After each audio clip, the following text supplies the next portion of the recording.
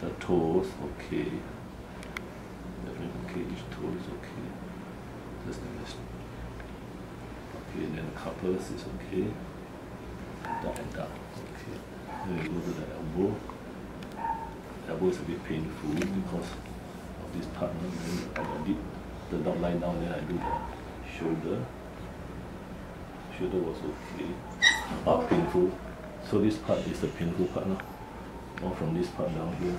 And palpation will show the pain. Okay, now I'm going to cut the cut a bit of the long this short one.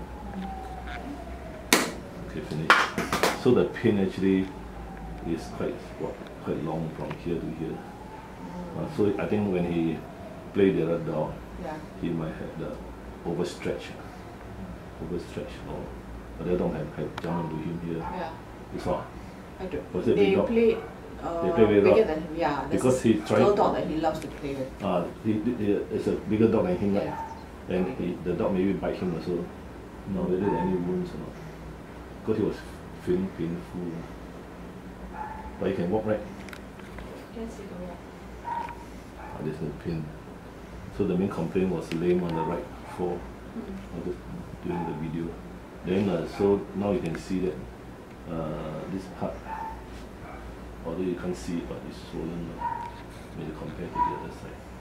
And also the pain. of the humerus is here, this is the humerus.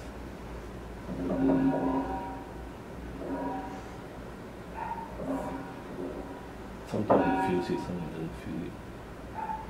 You feel there's some swelling compared to the other leg.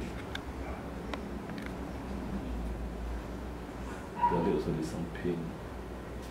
There's some pain on their leg as well, but this is more painful.